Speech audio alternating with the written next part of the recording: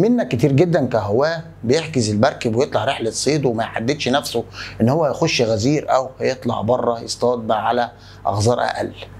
طيب انت عايز تعرف دلوقتي اطلع رحلة صيد اخش غزير أو اطلع بره أو معايا الحرية المطلقة اخش جوه ولا بره أنا كهاوي صيد أو ممارس صيد أو بحجز رحلات كتير أو عارف امور البحر ببقى عارف إمتى الوقت المناسب اللي اخش فيه جوه أو الوقت المناسب اطلع فيه بره دلوقتي هنتكلم مع بعضينا على القصة دي. القصة دي مرتبطة بالقمر ارتباط جامد جدا.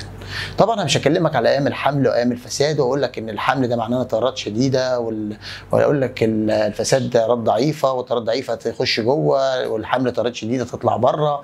أنا هجيب لك الموضوع بشكل عملي مدروس وشكل عملي صحيح. أنت عندك القمر بياخد في الشهر 8 أشكال. هاخد منهم مثلا ثلاث أوضاع. الثلاث أوضاع مكررين القمر بدر أو القمر هلال أو ما فيش قمر أصلا. القمر وليد.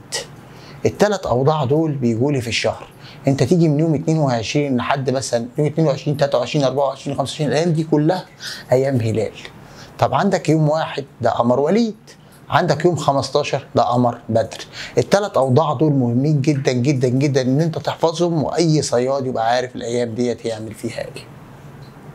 القمر لو وليد بيبقى البحر عتمة. ومفيش إضاءة.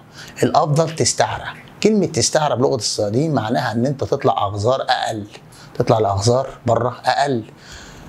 طيب لو القمر بدر بدر يعني معنى الدنيا منورة والقمر كبير والبحر واضح معناها إن أنت تخش غزير. الأفضل صيد غزير. يبقى القمر لو بدر تصطاد غزير والقمر لو وليد لسه مواليد والدنيا عتمة يبقى تستعرى طب إيه الوضع اللي أنا أقدر فيه أخش جوه وبره أبقى براحتي؟ هلال. لو القمر هلال في هلال قدامك في السماء زي يوم 22 مثلا يبقى أنت عايز تخش جوه أو تطلع بره. براحتك مش شرط 22 بالظبط.